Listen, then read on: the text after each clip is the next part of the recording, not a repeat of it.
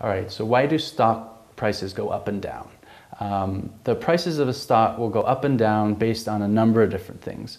Um, usually, uh, it, it, it, well, it can be trading volume.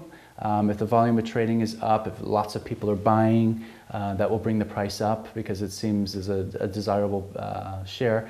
If it's going down because of high volume of selling, um, then the price will come down as well, um, being seen as something that's, that, that's being devalued on the market.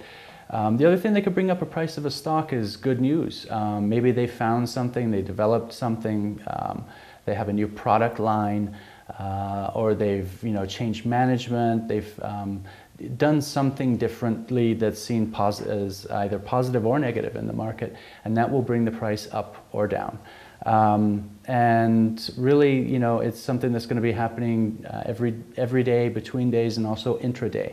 Um, so the price um, goes up and down not for, you know, um, just sort of a whimsical reason. That there is a reason behind it always.